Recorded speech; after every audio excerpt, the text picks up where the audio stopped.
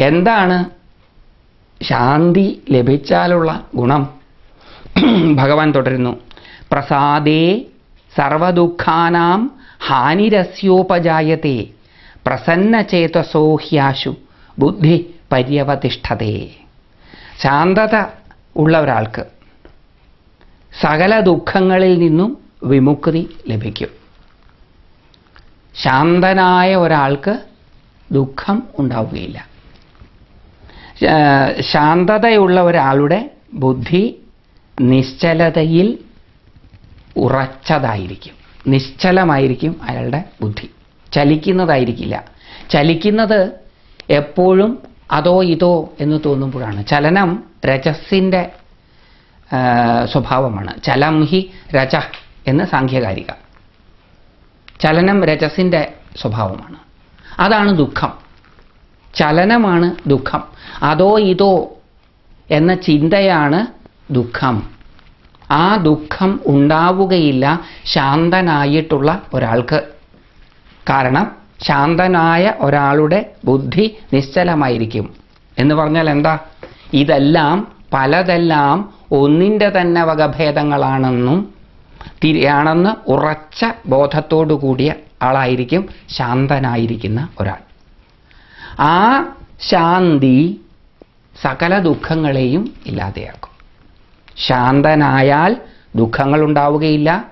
ശാന്തതയുള്ള ശാന്തചിത്തനായിട്ടുള്ള ഒരാളുടെ ബുദ്ധി നിശ്ചലം ആയിരിക്കും. അത് വേവറിങ് ആയിരിക്കില്ല. പതർച്ച ഉണ്ടാവില്ല കൺഫ്യൂഷൻ ഉണ്ടാവില്ല ശാന്തതയുള്ള ആൾക്ക്. ശാന്തി എങ്ങനെയാ ലഭിക്കുക? നേരത്തെ ശ്ലോകത്തിൽ പറഞ്ഞു. ഇനി ശാന്തി ഇല്ലാത്തവന് മനഃശാന്തി ഇല്ലാത്തവൻ എന്താ ബുദ്ധിമുട്ട്? ഈ ഈ ഇപ്പം നാം കേട്ട ശ്ലോകത്തിൽ ശാന്തിയുടെ ശാന്തിയുള്ള ആൾക്ക് എന്തൊക്കെയാണ് ഗുണം? പ്രയോജനം. ശാന്തിയുടെ പ്രയോജനം എന്താണെന്ന് പറഞ്ഞു. ശാന്തചിത്തതയുടെ പ്രയോജനം. ഇനി അതില്ലെങ്കിൽ എന്താ കുഴപ്പം? നാസ്തി ബുദ്ധിരയുക്തസ്യ നജായുക്തസ്യ ഭാവന. ന അഭാവ നച അഭാവയത ശാന്തി. അശാന്തസ്യ കുതസുഖം. ശാന്ത ഇല്ലാത്തവന് സുഖം ഉണ്ടാവുകയില്ല. ആർക്കാണ് ഈ ശാന്തി ഉണ്ടാകാതിരിക്കുക? ഏതൊരാളുടെ ബുദ്ധിയാണോ നിശ്ചലമാകാതെ നിൽക്കുന്നത്? ഏതൊരാളുടെ ബുദ്ധി അയുക്തസ്യ യോഗം ചെയ്യാതെ നിൽക്കുന്നത്? യോഗവുമായിട്ടുള്ള ചേർച്ചയില്ലാതെ നിൽക്കുന്ന ബുദ്ധിയോട് കൂടിയവൻ. അതായത് അവയർനെസ് ഇല്ലാത്ത പ്രവൃത്തിയോട് കൂടിയ ഒരാൾ. ഭാവനയില്ലാത്ത ഒരാൾ. ഭാവന കൂടാത്ത ഒരാൾ. ഭാവന ഭവിപ്പിക്കാൻ ശക്തിയുള്ളതാണ്. അതാണ് ശരിക്കുമുള്ള ധ്യാനം. ബുദ്ധി നിശ്ചലമല്ലാത്ത ഒരാൾക്ക് താൻ ചെയ്യുന്ന പ്രവൃത്തികളെക്കുറിച്ച് മുഴുവനും ബോധമില്ലാത്ത ഒരാൾക്ക് ധ്യാനം സാധ്യമല്ല. ധ്യാനം സാധ്യമല്ലാത്ത ഒരാൾക്ക് ശാന്തി ലഭിക്കുകയില്ല. ശാന്തിയില്ല എന്നുണ്ടെങ്കിൽ സുഖം ഉണ്ടാവുകയില്ല. എല്ലാ പ്രാണികളും സുഖം ആണ് കാക്ഷിക്കുന്നത്. ജീവിതത്തിന്റെ സകല പ്രവൃത്തികളിലൂടെയും സർവപ്രാണികളും കാക്ഷിക്കുന്നത് സുഖം ആണ്. ആ സുഖം ഉണ്ടാകണമെന്നുണ്ടെങ്കിൽ ശാന്തതയുണ്ടാകണം. പ്രസന്നചിത്തത ഉണ്ടാകണം. പ്രസന്നചിത്തനാകണമെന്നുണ്ടെങ്കിൽ ശ്രദ്ധയോടുകൂടി പ്രവർത്തിക്കുന്നവൻ ആയിരിക്കണം. തന്റെ പ്രവർത്ത സകല പ്രവർത്തികളെയും അറിയുന്നവനായിരിക്കണം. ഭാവനയുള്ളവൻ ആയിരിക്കണം. ഭവിപ്പിക്കുവാൻ ശക്തമായിട്ടുള്ള ചിന്തകൾ ഉള്ളയാളായിരിക്കണം. അതാണ് ഭാവന. ഭാവനയോടുകൂടിയ ധ്യാനചിത്തനായിരിക്കുന്ന ഒരാൾക്ക് മാത്രമേ ശാന്തി ഉണ്ടാവുകയുള്ളൂ. അതുകൊണ്ട് ഇവിടെയെല്ലാം വളരെ പ്രധാനമായിട്ട് പറയുന്നത് അറിഞ്ഞുകൊണ്ട് പ്രവർത്തിക്കുക എന്നുള്ളതാണ്. നാസ്തി ബുദ്ധിരയുക്തസ്യ യുക്തനല്ലാത്തവന് നിശ്ചയാത്മികമായിട്ടുള്ള ബുദ്ധി ഉണ്ടാവുകയില്ല. അയുക്തൻ യോജിക്കാത്തവൻ യോജിപ്പിക്കാത്തവൻ എന്തിനെ യോജിപ്പിക്കാത്തവൻ? ബോധത്തെയും പ്രവൃത്തിയെയും യോജിപ്പിക്കാത്തവൻ. അറിഞ്ഞുകൊണ്ട് പ്രവർത്തിക്കാത്തവൻ. അയാളെ സംബന്ധിച്ചിടത്തോളം ഭാവനയുണ്ടാവുകയില്ല. ഭാവനയില്ലാത്തവന് ശാന്തി ഉണ്ടാവുകയില്ല ശാന്തതയില്ലാത്തവന് ശാന്തചിത്തനല്ലാത്തവന് സുഖം ഉണ്ടാവുകയില്ല. അതുകൊണ്ട് സുഖം വേണമെന്നുണ്ടെങ്കിൽ എന്ത് ചെയ്യണം? അറിഞ്ഞുകൊണ്ട് പ്രവർത്തിക്കണം. സകല പ്രവൃത്തികളെയും ശ്രദ്ധയോടുകൂടി നിരീക്ഷിക്കണം. എന്തും അറിയണം. ഒരു സെൻ കഥയാണ് ഈ സമയത്ത് ഓർമ്മ വരുന്നത്. ഒരു വലിയ സെൻ മങ്ക് സെൻ ഭിക്ഷു അദ്ദേഹത്തിന്റെ കീഴിൽ വർഷങ്ങളോളം പഠിച്ച ഒരു ശിഷ്യൻ ഗുരുവായി തീരുന്നു ശിഷ്യ വലിയ ഗുരുവിന്റെ ശിഷ്യനായി ശിഷ്യനായി കുറേ കാലം ആ ആശ്രമത്തിൽ തുടർന്ന് അഭ്യസിച്ച അദ്ദേഹം ഗുരുവായി തീർന്നതിന് ശേഷം കുറേ കാലങ്ങൾ കഴിഞ്ഞ് തന്റെ ഗുരുവിനെ കാണാൻ താൻ പഠിച്ച ആശ്രമത്തിലേക്ക് തിരിച്ച് എത്തുന്നു. തന്റെ ഗുരുവിനെ ഒന്ന് കണ്ട് വണങ്ങാൻ. അന്ന് നല്ല മഴ പെയ്യുന്ന ഒരു ദിവസമായിരുന്നു. അപ്പം അദ്ദേഹം ഒരു മെതിയടി ധരിച്ചിരുന്നു. ഒരു കൊടയും ചൂടിയിരുന്നു. മഴ നനയാതിരിക്കാനും കാലിൽ ചെളിയൊന്നും ആകാതിരിക്കാനും ആശ്രമത്തിലെത്തി മെതിയടി അഴിച്ചു വെച്ചു കൊട മടക്കി വെച്ച് ഗുരുവിനെ കാണാൻ ചെന്നു. കണ്ട ഉടനെ ഗുരു ചോദിച്ചത് മെതിയടിയും കൊടയും കൊണ്ടല്ലേ വന്നത്? അതെ മെതിയടി കാലിലും കൊട തലയ്ക്ക് മുകളിലും ചൂടിയിരുന്നു. ഗുരു ചോദിച്ചു നീ കൊട വെച്ചത് മെതിയടിയുടെ ഇടത്തുഭാഗത്താണോ വലത്തുഭാഗത്താണോ? എന്ന്. ശിഷ്യനായ ഗുരുവിന് അതിന് പെട്ടെന്ന് ഉത്തരം പറയാൻ സാധിച്ചില്ല. ഉത്തരം അദ്ദേഹത്തിന് കിട്ടിയില്ല. കാരണം അദ്ദേഹം അത് ശ്രദ്ധിച്ചില്ല. തന്റെ ശ്രദ്ധ വേണ്ടതുപോലെ ഉറച്ചില്ല എന്ന് മനസ്സിലാക്കിയ ശിഷ്യനായ ഗുരു അത് ഉറയ്ക്കുന്നതുവരെ കുറേ കാലം കൂടി തന്റെ ഗുരുവിന്റെ ആശ്രമത്തിൽ തുടരുകയും അത് ഉറച്ചതിന് ശേഷം ആണ് പിന്നീട് ആശ്രമം വിടുകയും ചെയ്തത്. അതുകൊണ്ട് കൊട എവിടെ വെക്കുന്നു? വടി എവിടെ വെക്കുന്നു? ചെരുപ്പ് എവിടെ ഊരിയിടുന്നു? എന്തൊക്കെ ചെയ്യുന്നു? എന്തൊക്കെ പറയുന്നു? എന്തൊക്കെ ചിന്തിക്കുന്നു? ഇത് മുഴുവനും നാം അറിഞ്ഞുകൊണ്ടായിരിക്കണം ചെയ്യുന്നത്. അങ്ങനെ അറിഞ്ഞുകൊണ്ട് ചെയ്യുന്ന ഒരാളുടെ പ്രവൃത്തി അയാളുടെ ജീവിതം ധ്യാനാത്മകം ആയിരിക്കും. ധ്യാനാത്മകമായി ജീവിക്കുന്ന ഒരാൾ ശാന്തചിത്തനായിരിക്കും. അയാൾക്ക് നിരന്തര സുഖം ഉണ്ടാകും.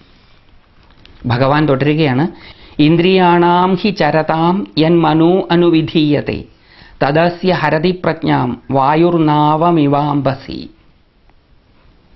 ഇൻ അതും ഇതും ഏതെന്നറിയാതെ എന്തെന്നറിയാതെ വസ്തുക്കളിൽ വിഷയങ്ങളിൽ ഇന്ദ്രിയങ്ങൾ വ്യാപരിക്കുമ്പോൾ ആ ഇന്ദ്രിയങ്ങളെ മനസ്സിനെയും വലിച്ചഴയ്ക്കുന്നു അതിലേക്ക്.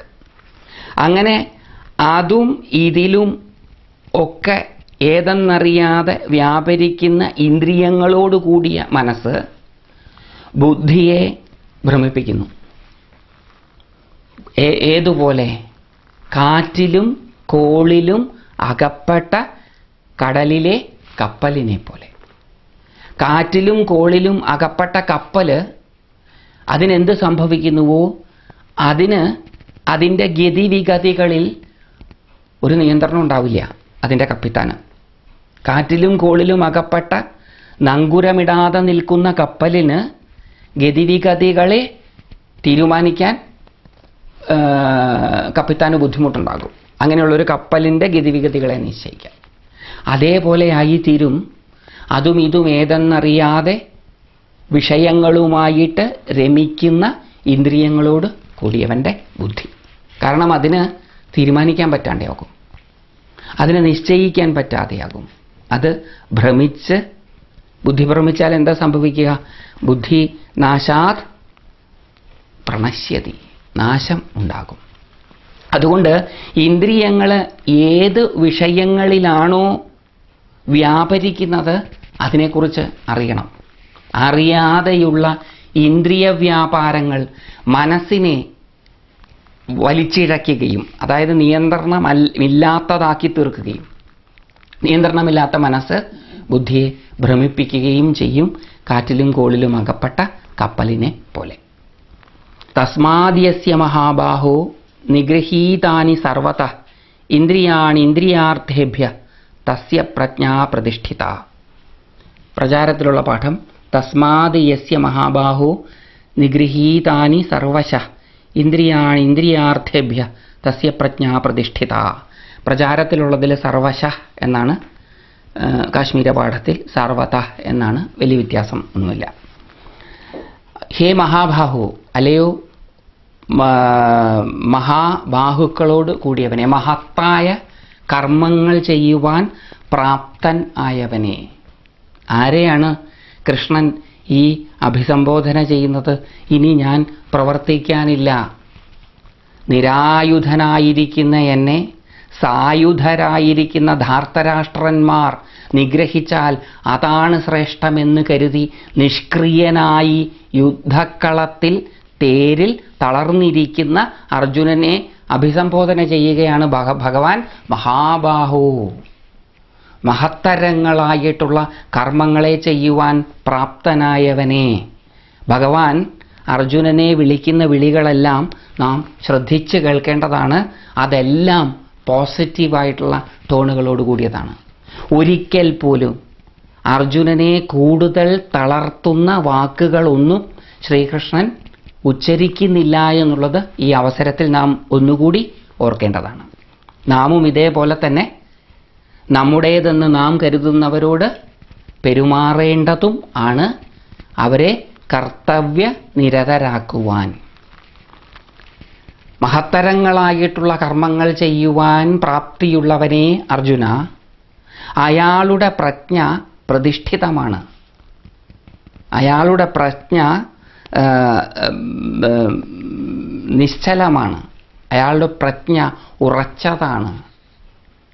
ബോധം ഉറച്ചതാണ്. ആരുടെ? ഏതൊരാളുടെ ഇന്ദ്രിയങ്ങളാണോ ഇന്ദ്രിയാർത്ഥങ്ങളിൽ നിന്ന് വിഷയങ്ങളിൽ നിന്ന് പിൻവാങ്ങിയിട്ടുള്ളത് ആ ആളുടെ ബോധം നിശ്ചലം ആണ്.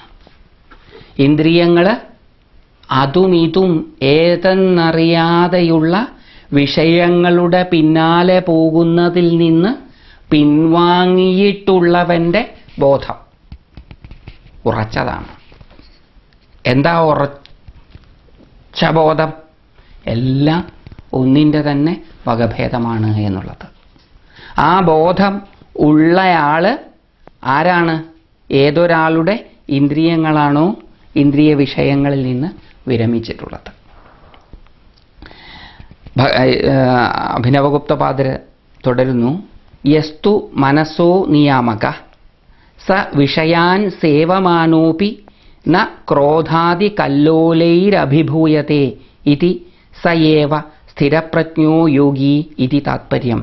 ഏതൊരാളുടെ മനസ്സാണോ നിയന്ത്രണ വിധേയമായിട്ടുള്ളത് ആ വ്യക്തി വിഷയങ്ങളെ സേവിക്കുന്നവനാണെങ്കിലും ക്രോധാദികളിൽ നേരത്തെ പറഞ്ഞ ക്രോധ സമ്മോഹ സ്മൃതിഭ്രംശ ബുദ്ധി നാശങ്ങളിൽ നിന്ന് വിമുക്തനായിരിക്കും. അയാളെ കീഴടക്കുവാൻ അയാളെ നശിപ്പിക്കുവാൻ ഈ ക്രോധാദികൾക്ക് സാധിക്കുകയില്ല. ഏതൊരാളുടെ മനസ്സാണോ നിയന്ത്രണ വിധേയമായിട്ടുള്ളത്? ആ ആളുടെ വിഷയസേവനം. ആളുടെ ഇന്ദ്രിയങ്ങൾ വിഷയങ്ങളിൽ വ്യാപരിച്ചാൽ അത് അയാളെ നശിപ്പിക്കുകയില്ല. ഇവിടെ നമ്മൾ രണ്ടാം അധ്യായത്തിലെ അറുപതാമത്തെ ശ്ലോകത്തിന്റെ അഭിനവഗുപ്തപാദരുടെ ഒരു വ്യാഖ്യാനവും കൂടി കേൾക്കുന്നത് നല്ലതായിരിക്കും. ശ്ലോകം യഥാ സംഹരതേ ചായം കുർമോ അംഗാനീവ സർവത ഇന്ദ്രിയാണിന്ദ്രിയാർത്ഥേഭ്യ സ്ഥിരപ്രജ്ഞസ്തദുച്യത്തെ എന്നതിന്റെ വ്യാഖ്യാനം വ്യാഖ്യാനിച്ചു വരുമ്പോൾ ഒരു ഓൾട്ടർനേറ്റീവ് വ്യാഖ്യാനം അഭിനവഗുപ്തപാദർ പറയുന്നുണ്ട്. യദ്വാ ഇന്ദ്രിയാർത്ഥേഭ്യ പ്രഭൃതി ഇന്ദ്രിയാണി ആത്മനി സംഹരത്തെ ആ, വിഷയേന്ദ്രിയാധികം സർവം ആത്മസാത് കരോ കരോതി. ഇന്ദ്രിയാർത്ഥം തുടങ്ങി ഇന്ദ്രിയങ്ങളും ഇന്ദ്രിയാർത്ഥങ്ങളും ഇന്ദ്രിയങ്ങളും ആത്മബോധത്തിൽ സംഹരിക്കുന്നു. അതായത് ഇന്ദ്രിയാർത്ഥങ്ങളും ഇന്ദ്രിയങ്ങളും ആത്മബോധം തന്നെയാണ് എന്ന് മനസ്സിലാക്കുന്നു. വിഷയേന്ദ്രിയാധികം സർവം ആത്മസാത്കാരോതി വിഷയേന്ദ്രിയങ്ങളും വിഷയങ്ങളും ഇന്ദ്രിയങ്ങളും വിഷയങ്ങളും ആത്മബോധത്തിന്റെ തന്നെ വകഭേദങ്ങളാണ് എന്ന് അറിയുന്നു. അങ്ങനെ ഉള്ള ഒരാളാണ്. വിഷയങ്ങളും ഇന്ദ്രിയങ്ങളും ആത്മബോധത്തിന്റെ തന്നെ ഭാഗമാണ് എന്നറിയുന്ന ഒരാളാണ് ഇന്ദ്രിയങ്ങളെയും വിഷയങ്ങളെയും തമ്മിൽ വേർപെടുത്തിയവൻ ഇന്ദ്രിയങ്ങളെ അതിന്റെ വിഷയങ്ങളിൽ നിന്ന് വേർപെടുത്തുക എന്ന് പറഞ്ഞാൽ ഇതാണ്. അങ്ങനെയുള്ള ഒരാളുടെ പ്രജ്ഞയാണ് ഉറച്ച് നിൽക്കുന്നത്. അഭിനവഗുപ്തപാദരുടെ വ്യാഖ്യാനം കേൾക്കാം.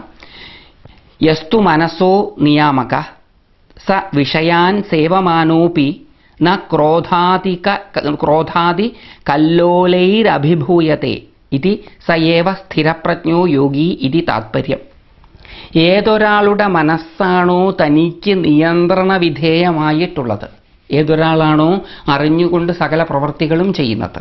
ആ വ്യക്തി വിഷയങ്ങളെ സേവിക്കുന്നവനാണെങ്കിലും ക്രോധാദികളാൽ കീഴ്പ്പെടുത്തുവാൻ പറ്റുന്ന ആൾ അല്ല.